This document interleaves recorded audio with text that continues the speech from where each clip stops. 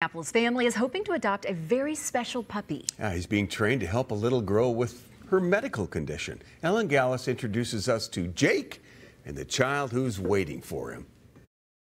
Meet Jake. He's more than just a cute face.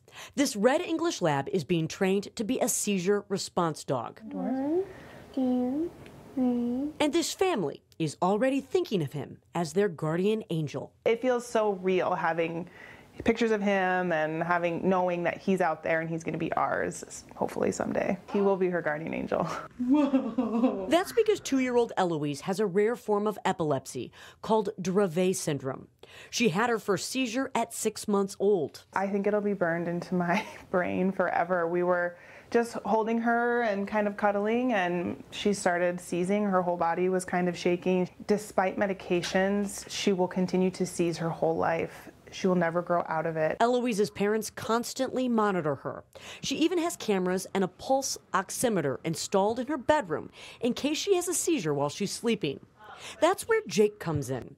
They're fundraising to train and bring him home. Seizure response dogs like Jake can monitor, detect, and alert caregivers to seizures. They're trained to trail the kid, they're trained to always check on them, um, they're trained to sleep in their rooms.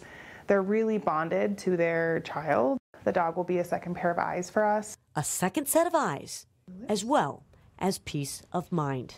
Having that dog would just really be such a benefit for our stress and our anxiety and our fear that we have every day.